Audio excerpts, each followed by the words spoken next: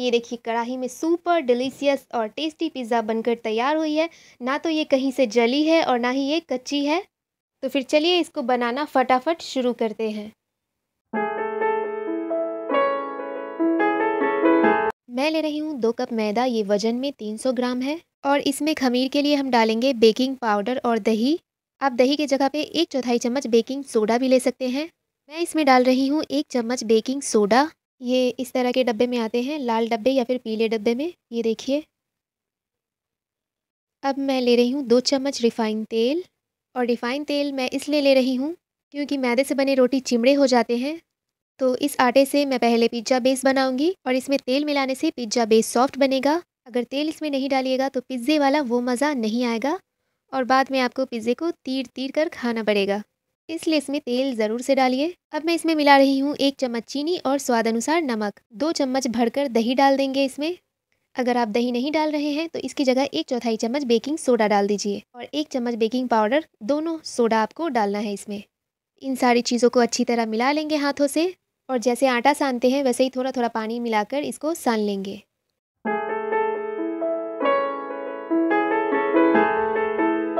और ये देखिए, आटा को मैंने सान लिया है। आप चाहें तो इसको एक से दो घंटे का रेस्ट दीजिए, इससे ये आटा डबल हो जाएगा या फिर इसको फ़ौरन भी बना सकते हैं। मैंने इसको 10 मिनट का रेस्ट दिया है और ये देखिए, ये थोड़ा सा फूल गया है। 10 मिनट के बाद हम इसको दो हिस्सों में बांट लेंगे और इसकी लोई बना लेंगे। मैं आप लोगों को एकदम परफेक्ट तरीका बता रही हूँ पिज़्ज़ा बनाने का, वो भी कढ़ाई में। इसलिए पहले मैं पिज़्ज़ा बेस बनाऊँगी, उसके बाद मैं पिज़्ज़ा बनाऊँगी। इसको बेक होने में आठ से दस मिनट लग जाते हैं।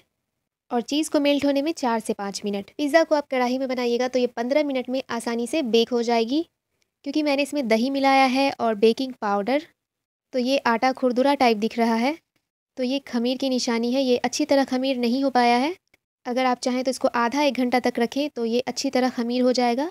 तो मैंने इसको केवल दस मिनट तक रखा है खमीर होने के लिए। और जिस प्लेट में आप इसको बेक करने वाले हैं, उस प्लेट को तेल से ग्रीस कर लीजिए। तो ये देखिए, हमने इसको केवल दस मिनट तक रखा था। अब हम इस लोई में थोड़ा सा सूखा आटा डालकर इसको बेल लेंगे। आप जैसा पिज़्ज़ा बनाना चाहते हैं, मोटा या पतला, उस हिसाब से आप इसको बेल लीजिए। मैं इसको थोड़ा मोटा ही बेलने वाली हूँ।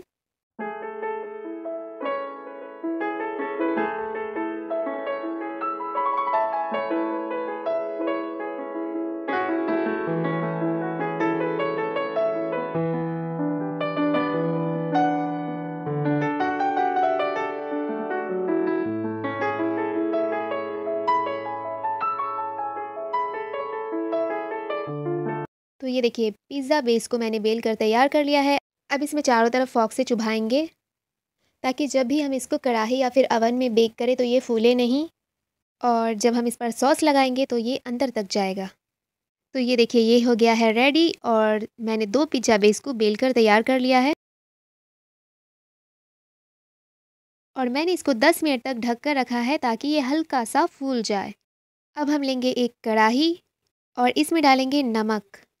जो सस्ती वाली नमक आती है ना, वो आप इसमें इस्तेमाल करिएगा। जब इसका काम हो जाए तो बाद में इसको फेंकना नहीं है।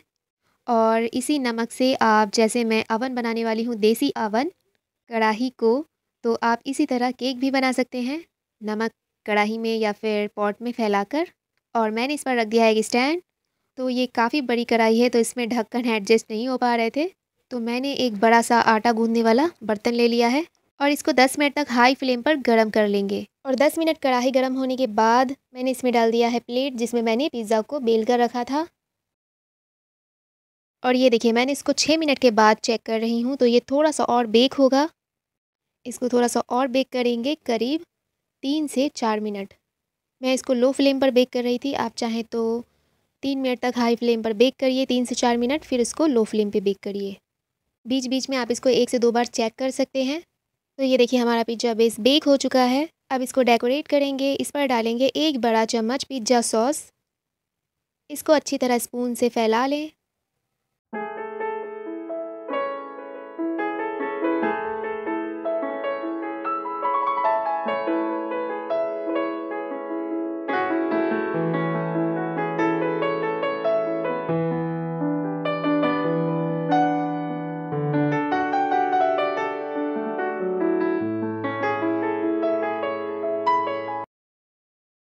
मैं इस पर डालने वाली हूँ कुछ वेजीज जिसको मैंने काट कर रखा है। मैंने लिया है शिमला मिर्च, टमाटर और प्याज सबको पेटल्स में काट के। मैं इसमें ज़्यादा सब्ज़ियाँ ऐड नहीं करने वाली हूँ। अब मैं इस पर ग्रेट करने लगी हूँ चीज़। मैं इस पर बहुत सारा चीज़ कद्दूकस करके डाल रही हूँ।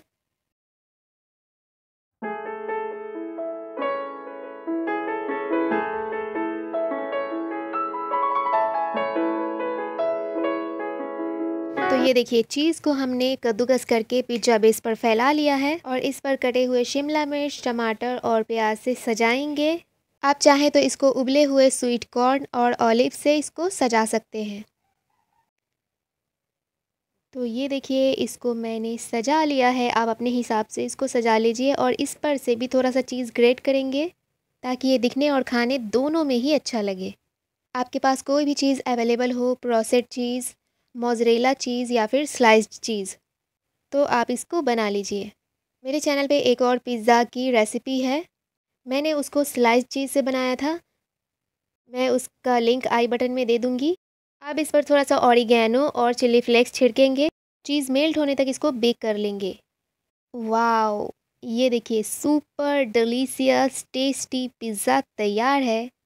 अगर आपको क्रिस्पी पिज़्ज़ा चाहिए तो चीज़ मेल्ट होने के बाद आप एक नॉन स्टिक तवा पर या फिर कोई भी तवे पर हाई फ्लेम पर इसको दो से तीन मिनट तक पका लीजिए। वैसे इसको पकाने की ज़रूरत नहीं है, ये ऑलमोस्ट पक चुका है। बस मैंने इसको क्रिस्पी करने के लिए रखा था और ये देखिए, ये एकदम गरबा गर्म पिज़्ज़ा तैयार है। अब इसको कट करके सर्व कीजिए। अगर ये वीडियो आपको अच्छी लगे तो प्लीज़ इसको लाइक, शेयर और मेरे चैनल को सब्सक्राइब करना ना भूलें। मिलती हूँ इसी तरह की आसान रेसिपी के साथ। तब तक के लिए बाय एंड टेक केयर